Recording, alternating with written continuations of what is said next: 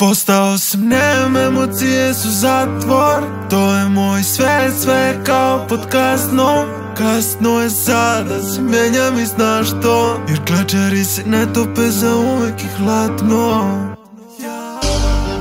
Već dugo zatvoren samo troje grad. Moj iza zgrada samo da prežive dan. Neću stati nikad okolo nas. Neću da se smirim, niko ne traži spas ne jebem te priče, ne vade iz usta Svako od njih me mrzi i sluša. Živim drugi život ko future Zato me pitaju gdje će mi duša Gdje će mi duša. Ovaj džon će lagano kroz trnje Koliko noževa imam u leđima Do sada je trebalo tri da umrem Ti ne razumeš. Nismo prošli mi iste rute Ovdje odavno ne cvetaju ruže Sve znaju ulice ali pričute To je realnost Što presvatiš što brže se trgneš. Da li si spreman za svoje da umreš?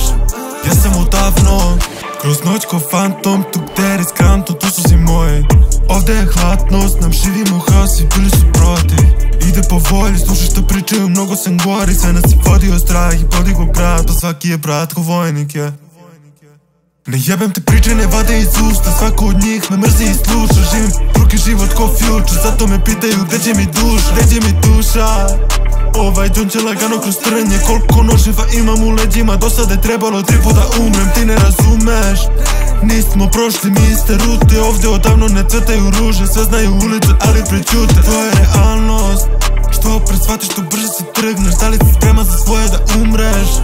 Ja sam odavno